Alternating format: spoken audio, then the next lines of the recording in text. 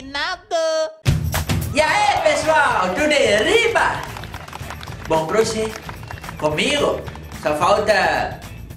Falta luz no estúdio. Aê!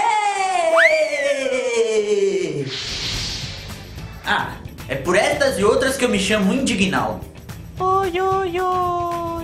Vocês viram que roubaram 42 metros de cabos de telefonia aqui no bairro Polícia Rodoviária em Araranguá? Quê? É sério? Não, é verdade. É por isso que eu acredito que o mundo vai acabar em 2012, porque vocês já estão roubando fios de poste, cabos de telefonia. Daqui a pouco, se demorar muito pra essa porqueira acabar, vão estar roubando os postes também. Não, é sério, olha a situação que a gente chegou. Daqui a pouco os políticos vão estar roubando dinheiro do povo em Brasília. Já estão roubando? Então ferrou tudo! Ferrou! Ferrou! Uh, que raiva! Mas pelo menos aqui em Araranguá o roubo dos cabos de telefonia foi durante a madrugada. Porque tem lugares no Brasil que já estão roubando em plena luz do dia. Ah, Como em né? São Paulo, por exemplo. Olha esse tiozinho aqui. Ele tá roubando cabos. Cara de pau! Em plena luz dia! E olha o que ele fala pro câmera depois. Esse cara tinha que ser humorista. Olha isso.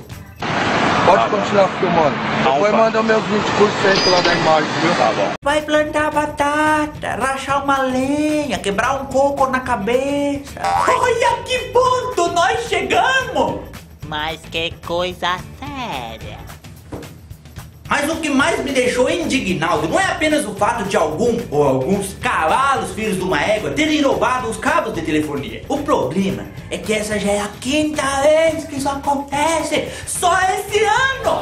Porque falta iluminação no quilômetro 413 da BR, onde acontecem os furtos. E aí alguns serviços importantes no presídio regional ficam comprometidos. Trava tudo. E o posto da Polícia Rodoviária Federal não pode atender as ligações e nem registrar os boletins de ocorrência. Coisa pouca. Um transtorno insignificante. Oh. Ah, Indignaldo, no próximo milênio a gente coloca iluminação lá, tem pressa não. Dessa vez foram 30 horas de apagão por conta desse ato de vandalismo. E sabe quem são os maiores prejudicados? Não. Os maiores prejudicados somos nós, o povo, Oh. que espera uma solução. Espera uma solução. Espera uma solução. Espera, espera uma solução. E nada. E é por estas e outras que eu me chamo Indignaldo.